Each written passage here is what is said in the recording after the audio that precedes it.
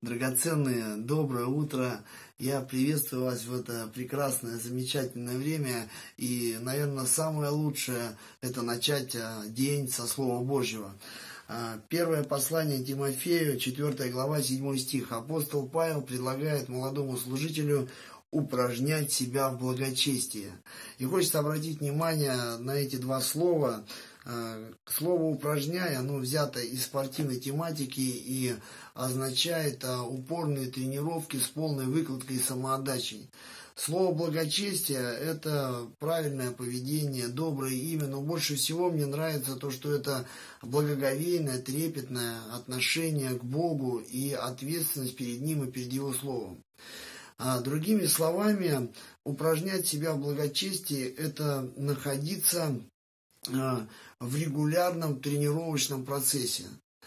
А, постоянные дисциплинированные духовные занятия, молитва, чтение, пост. И знаете, Александр Васильевич Суворов, русский полководец, когда-то сказал, что дисциплина – это мать победы.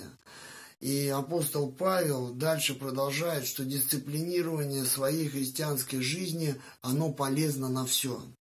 Драгоценный час у нас продолжается пост. И я бы сказал, это такое, знаете, а, дисциплинированное упражнение, когда мы просто запланировали, отказались от чего-то и регулярно а, в этом а, себя упражняем.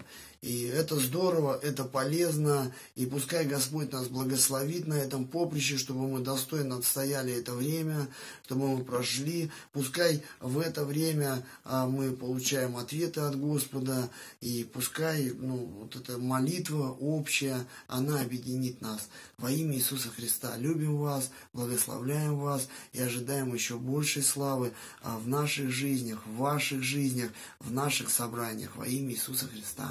Amém.